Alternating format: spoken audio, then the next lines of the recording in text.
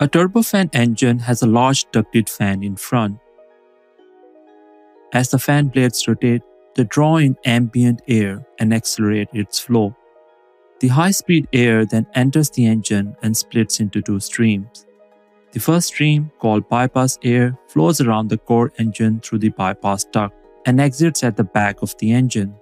The bypass air produces up to 80% of the thrust and also helps cool the core engine.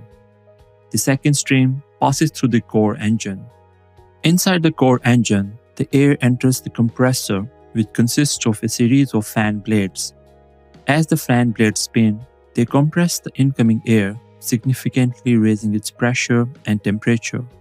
This step is crucial because compressed air burns fuel more effectively. Following compression, the high pressure air enters the combustion chamber, where it is mixed with fuel. The mixture is ignited, creating high temperature and high pressure gases. The hot gases produced in the combustion chamber rapidly expand and flow through the turbine, causing it to spin. The turbine is connected to a compressor and a fan through a shaft. As the turbine spins, it drives the compressor and the fan, allowing the cycle to continue.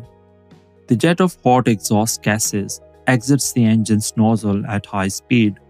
The expelled exhaust gases, along with cold bypass air, push back against the engine, generating thrust that propels the airline through the air.